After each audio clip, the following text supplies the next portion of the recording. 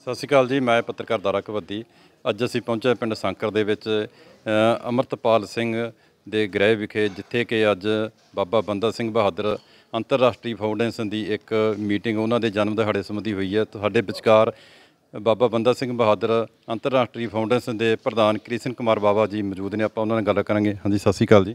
ਸਤਿ ਸ਼੍ਰੀ ਅਕਾਲ ਜੀ ਵਾਹਿਗੁਰੂ ਜੀ ਜਿਹੜੀ ਵਾਹਿਗੁਰੂ ਜੀ ਕੀ ਫਤਿਹ। ਸਰ ਜਿਹੜੀ ਅੱਜ ਇੱਥੇ ਮੀਟਿੰਗ ਹੋਈ ਹੈ ਕਿਸ ਸੰਬੰਧ ਦੇ ਵਿੱਚ ਹੋਈ ਹੈ ਜੀ? ਅੱਜ ਜੋ ਮਹਾਨ ਯੋਧੇ ਜਰਨੈਲ ਭਗਤੀ ਅਤੇ ਸ਼ਕਤੀ ਦਾ ਸੁਮੇਲ, ਕਿਸਾਨੀ ਦੇ ਮੁਕਤੀ ਦਾਤਾ ਬਾਬਾ ਬੰਦਾ ਸਿੰਘ ਬਹਾਦਰ ਜੀ ਦਾ 352ਵਾਂ ਜਨਮ ਦਿਹਾੜਾ ਜਿਹੜਾ ਕਿ 16 ਅਕਤੂਬਰ ਨੂੰ ਆ ਰਿਹਾ ਹੈ, ਉਹ ਰਕਬਾ ਭਵਨ ਵਿਖੇ ਸੂਬਾ ਪੱਧਰੀ ਸਮਾਗਮ ਕਰਕੇ ਅਸੀਂ ਮਨਾ ਰਹੇ ਹਾਂ ਤੇ ਅੱਜ ਅੰਮ੍ਰਿਤਪਾਲ ਜੀ ਨੇ ਮੀਟਿੰਗ ਰੱਖੀ ਹੈ। ਕੱਲ ਸਵੇਰੇ 9 ਵਜੇ ਮੇਰੀ ਦੁਰਾਹੇ ਮੀਟਿੰਗ ਹੈ। ਖੰਡੇ ਹੈ ਗੋਬਿੰਦਗੜ੍ਹ ਹੈ ਰਾਜਪੁਰੇ ਹੈ ਪਟਿਆਲੇ ਹੈ ਤਕਰੀਬਨ ਮੈਂ ਸਾਰੇ ਪੰਜਾਬ 'ਚ ਹੀ ਜਾ ਰਿਹਾ। ਤੇ ਅੱਜ ਅੰਮ੍ਰਿਤਪਾਲ ਨੇ ਜਿੱਥੇ, ਕਿਉਂਕਿ ਇਸ ਨੌਜਵਾਨ ਦੀ ਨੇਚਾ, ਇਹਦੀ ਭਾਵਨਾ, ਇਹਦੀ ਜਿੰਨੀ ਸੱਚੀ ਸੁੱਚੀ ਸੋਚ ਹੈ, ਸਾਰਾ ਇਹਦਾ ਕੰਮ ਕਰਨ ਦਾ ਤਰੀਕਾ ਹੈ, ਬਹੁਤ ਹੀ ਅੱਛਾ ਲੱਗਦਾ ਹੈ। ਤੇ ਇਹ 77 ਸਨ ਸਾਡੇ ਫਾਊਂਡੇਸ਼ਨ ਦੇ ਪੰਜਾਬ ਦੇ, ਤੇ ਅੱਜ ਇਹਨਾਂ ਨੂੰ ਜਨਰਲ ਸੈਕਟਰੀ ਬਣਾ ਦਿੱਤਾ ਗਿਆ। ਅਤੇ ਹਰਜੀਤ ਸਿੰਘ ਜੀ, ਜੋ ਕਿ ਕਲਕੱਤੇ ਤੋਂ ਨੇ ਲਾਪਰਾ ਹਰਜੀਤ ਸਿੰਘ ਲਾਪਰਾ ਉਹਨਾਂ ਨੂੰ ਕਲਕੱਤੇ ਵੀ ਸਾਡੀ ਫਾਊਂਡੇਸ਼ਨ ਆ ਉੱਥੇ ਮੇਘ ਸਿੰਘ ਪ੍ਰਧਾਨ ਨੇ ਤੇ ਉਹਨਾਂ ਨੂੰ ਉੱਥੇ ਦੇ ਪੈਟਰਨ ਬਣਾਇਆ ਸਰਪ੍ਰਸਤ ਬਣਾਇਆ ਗਿਆ ਸਰ ਕਿੰਨੀ ਤਰੀਕ ਨੂੰ ਕਿੱਥੇ ਮਨਾਇਆ ਜਾ ਰਿਹਾ ਜਨਮ ਦਿਨ 16 ਅਕਤੂਬਰ ਨੂੰ ਪਿੰਡ ਰਖਬਾ ਮੁੱਲਾਂਪੁਰ ਤੋਂ 3 ਕਿਲੋਮੀਟਰ ਐਕੋਡ ਰੋਡ ਤੋਂ ਜਾਂ ਜਾਂਦੇ ਹੋ ਸੱਜੇ ਪਾਸੇ ਬੋਰਡ ਲੱਗਿਆ।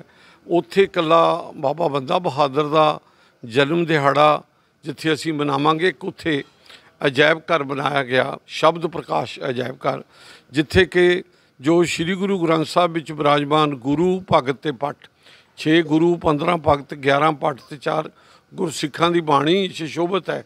ਅਸੀਂ ਉਹ ਮਿਊਜ਼ੀਅਮ ਦੇ ਤੁਸੀਂ ਦਰਸ਼ਨ ਕਰੋਗੇ, ਤੁਹਾਡੇ ਗਿਆਨ 'ਚ ਵਾਧਾ ਹੋਏਗਾ ਤੇ ਬੜਾ ਅੱਛਾ ਮਹਿਸੂਸ ਹੋਏਗਾ ਤੇ ਅੱਜ ਵੀ ਉੱਥੇ ਜਿਹੜੇ ਟਰਾਈਡੈਂਟ ਦੇ ਹੈੱਡ ਨੇ, ਉਹ ਆ ਕੇ ਦਰਸ਼ਨ ਕਰਕੇ ਗਏ ਨੇ, ਸਕੂਲਾਂ ਦੇ ਕਾਲਜਸ ਦੇ ਬੱਚੇ ਉੱਥੇ ਆਉਂਦੇ ਨੇ ਤਾਂ ਕਿ ਇੱਕ ਵੱਖਰਾ ਕਿਉਂਕਿ ਸਾਨੂੰ ਸ੍ਰੀ ਗੁਰੂ ਗ੍ਰੰਥ ਸਾਹਿਬ ਦੀ ਵਿਸ਼ਾਲਤਾ, ਮਹਾਨਤਾ ਉਸ ਦੇ ਬਾਰੇ ਗਿਆਨ ਹੋਣਾ ਕਿ ਉਹ ਸਮੁੱਚੀ ਮਨੁੱਖਤਾ ਨੂੰ, ਵਿਸ਼ਵ ਵਿੱਚ ਬੈਠੀ ਸਮੁੱਚੀ ਮਨੁੱਖਤਾ ਨੂੰ ਜ਼ਿੰਦਗੀ ਜਿਉਣ ਦਾ ਰਸਤਾ ਦਿਖਾਉਂਦੇ ਨੇ।